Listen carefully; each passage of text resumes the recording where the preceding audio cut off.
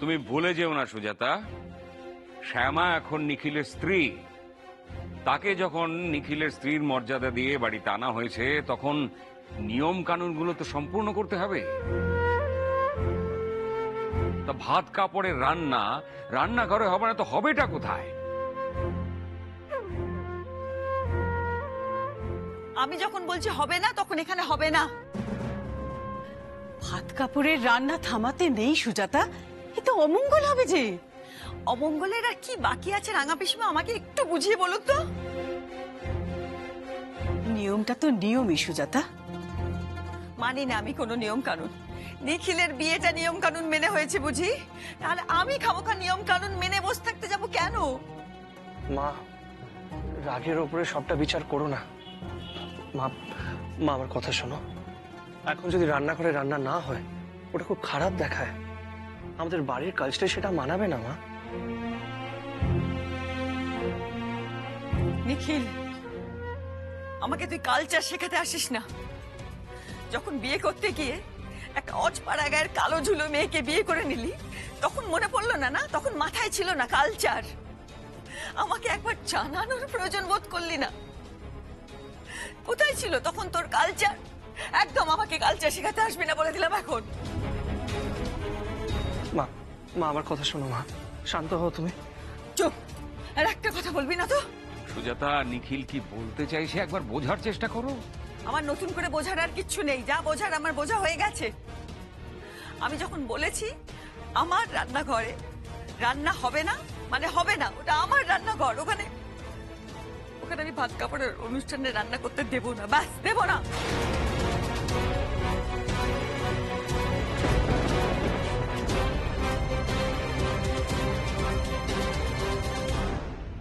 মা।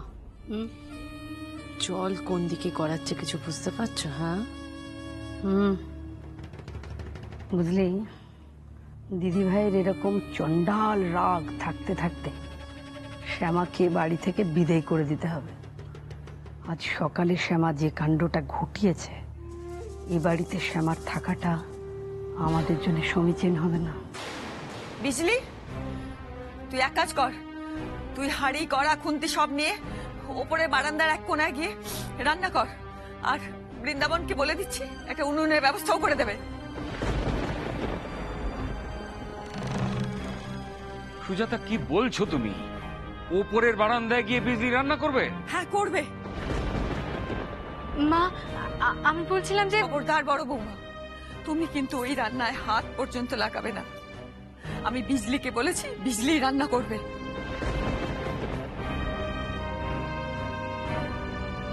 তুমি ভুলে যেও না। তুমি গরিব বাড়ির মেয়ে।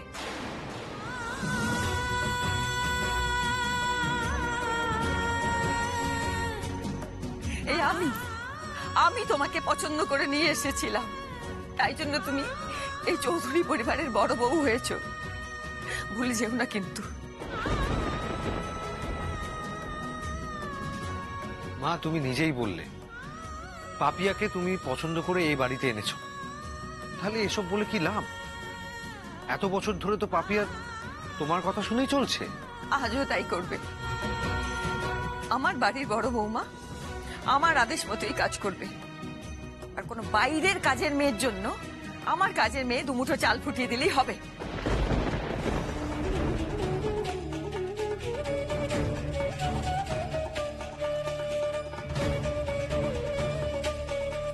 মা মা তুমি আমার কথা শোনো।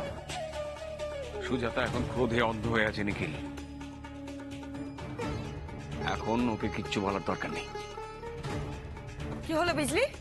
শুনতে পাসনি বুঝি? দাঁড়িয়ে রইলি কেন? নিয়ে যা। ও মা আমি যে রান্নার কিচ্ছু পারি নে গো। ওই কাটাকুটি যোগাযন্ত্র এসবই তো করি। আর মেরে গেছে ভাত ডাল করে দিতে পারব। কিন্তু রান্না তো পারিনি আমি। আমি জানি না। জানতেও চাই না। যা করবার তুই করবি। মোট কথা ভাত, কাপড়ের রান্না আমার রান্নাঘরে হবে না। আমার কথা যদি নড়চড় হয়, আমি কিন্তু বাড়ি ছেড়ে চলে যাব বলে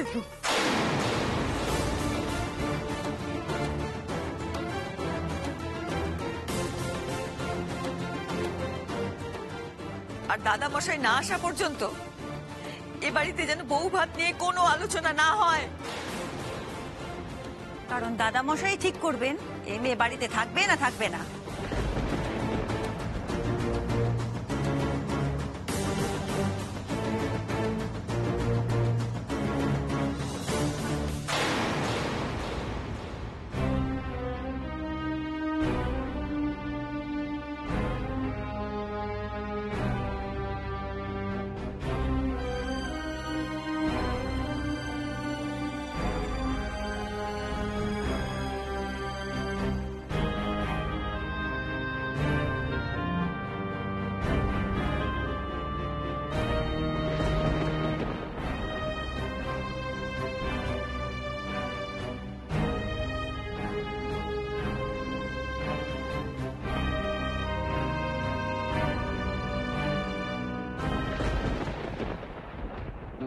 প্রসাদটা নিজে বেশি করে খাও, শ্যামা।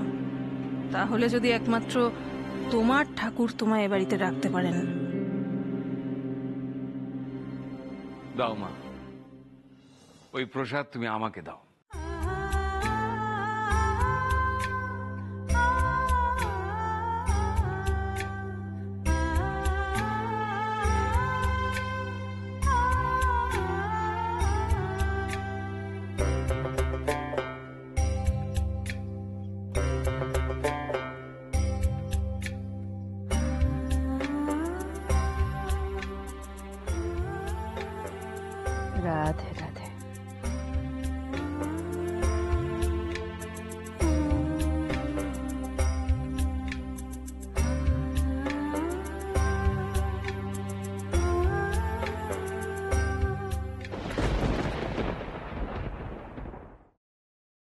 আপনি হয়তো জানেন না আমি ঈশ্বরে বিশ্বাসী নই।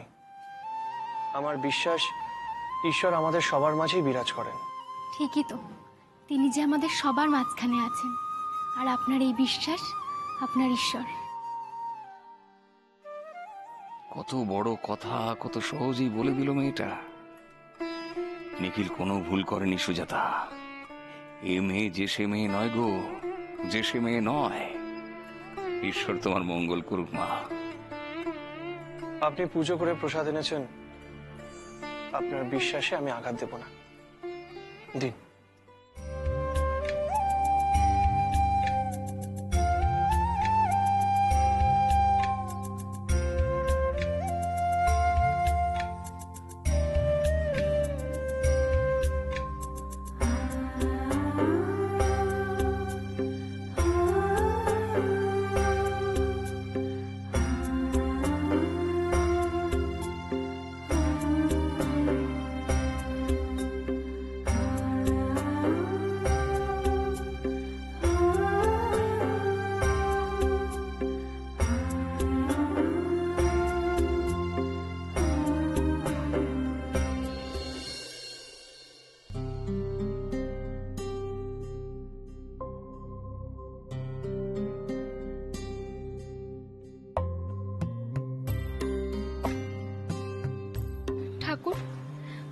সবাই আমার হাত থেকে প্রসাদ নিলেন। শুধু কর্তামা নিলেন না। ঠাকুরের প্রসাদ ফিরিয়ে দেওয়া যে অন্যায়। তুমি দোষ নিও না ঠাকুর। কর্তামার মনে যে অনেক অশান্তি। মায়ের মন তো কাঁদবে যদি কোনো দোষ হয়ে থাকে তুমি আমাকে শাস্তি দিয়ে দাও ঠাকুর। তুমি আমাকে শাস্তি দিয়ে দাও।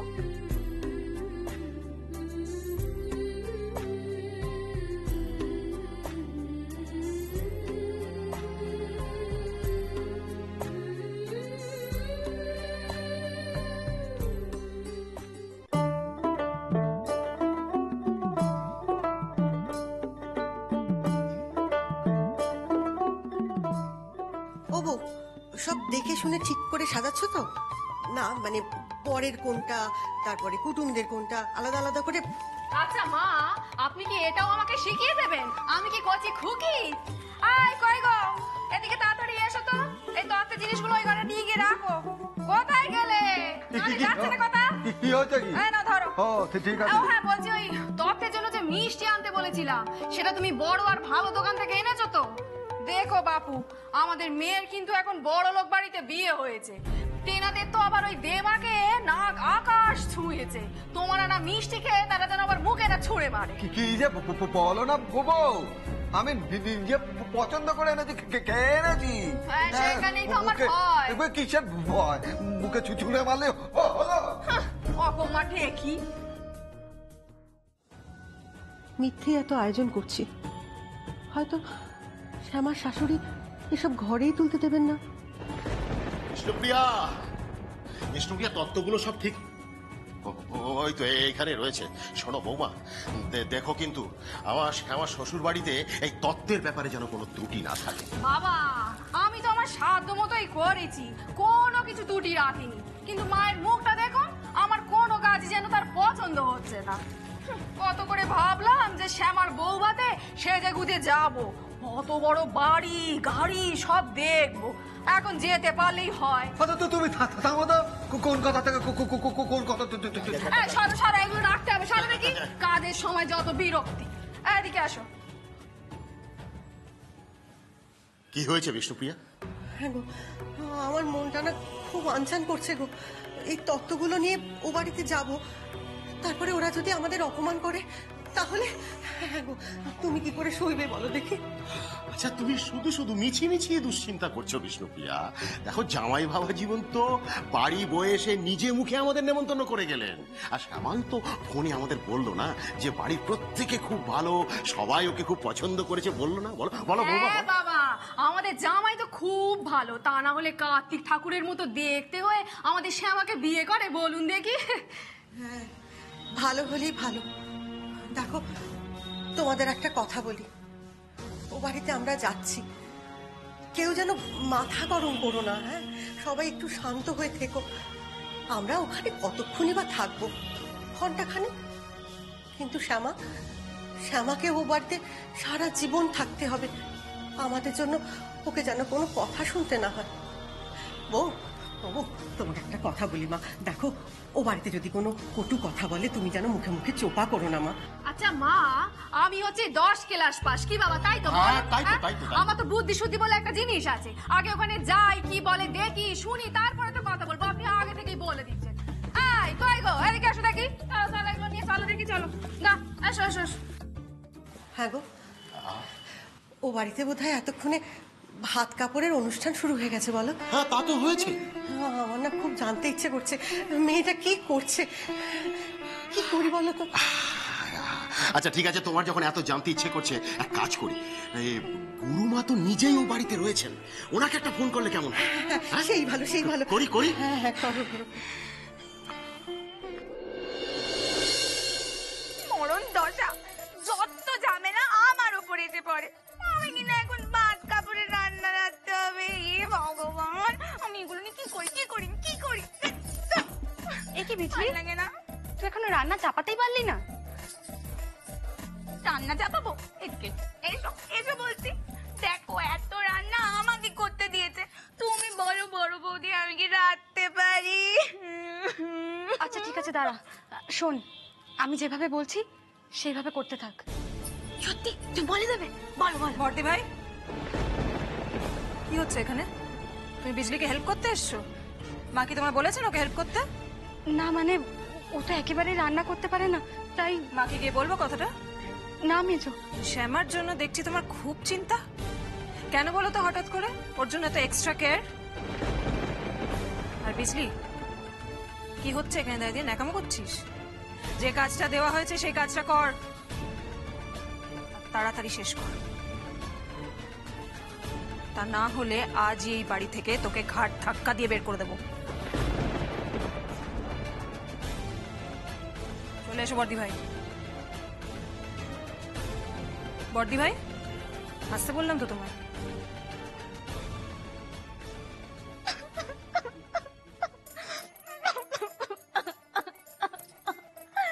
হে ভগবান আমার কি অপমান করলে তুমি?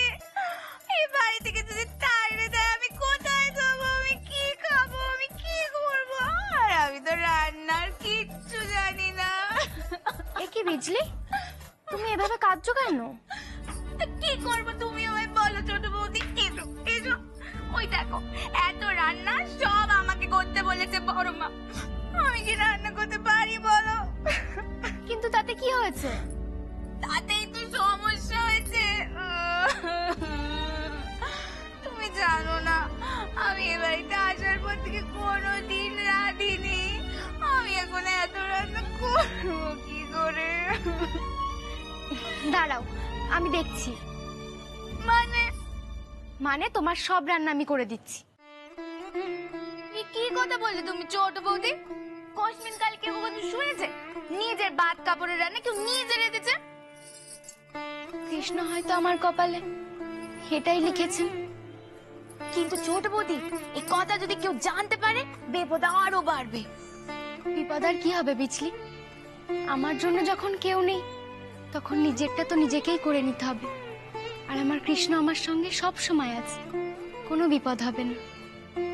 আর তুমি রান্না করলে যদি আমি সে খাবার মুখেই না তুলতে পারি তখন তো আমাকে সারাদিন না খেয়ে বসে থাকতে হবে। তুমি তো ভারী অদ্ভুত ছোট বৌদি। কি সুন্দর সবটা সহজ সরল করে নিলে। এটাই হয়তো আমার কৃষ্ণের ইচ্ছা। এই দেখো না আমি তো মাছ মাংস কিছু খাই না তাই হয়তো উনি এখানে সব ব্যবস্থা করেছেন।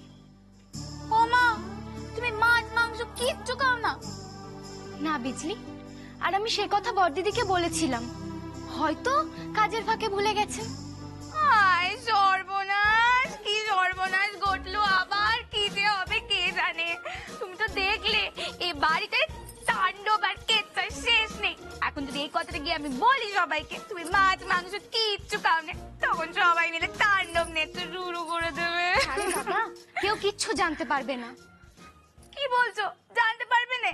তুমি জানো জানো কর্তা বাবু বলেছে তোমায় বারোটার মধ্যে বাদ কাপড় দিতে। আমি তো দেখে এলাম কখন এগারোটা বেজে গেছে। তুমি কখন রাখবে কখন খাবে? আচ্ছা বাবা একটু সরে দাঁড়াও তো। যাও তুমি গিয়ে আমার জন্য দুটো আতপ চাল নিয়ে আসো। আর কটা আলু আর একটু ঘি। বাস তাতেই হবে। এগুলো সব নিয়ে যাই তাহলে? হ্যাঁ তুমি এগুলো না সব পরিষ্কার করে দাও। ঠিক আছে তুমি দাঁড়াও এক্ষুনি আসছি। সাদের লাউ বানাইলাম মোরে বৈরাগী। সাদের লাউ।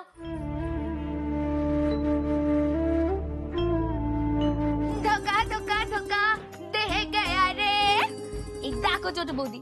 তুমি নিরামিষ খাও বলে আমি তোমার জন্য ধোকা নিয়ে এসেছি। আচ্ছা তুমি ধোকার রান্না রাখতে পারো তো? হ্যাঁ পারি। আচ্ছা শোনো তোমায় কি কি রাখতে হবে আমি তোমায় বলে দিই। তোমাকে না চার পাঁচ পদ রাখতে হবে বুঝেছ? ভাজা ভুজি করতে হবে সবজি করতে হবে আর যা যা হয় সেগুলো করে নেবে বুঝছ? নাহলে কিন্তু কর্তা মশাই খুব রাগ করবে। এত চিন্তা করতে হবে না বিজলি। সবকিছু হয়ে যাবে। চিন্তা করব না। এ তুমি কি কথা বললে? চিন্তা হবে না।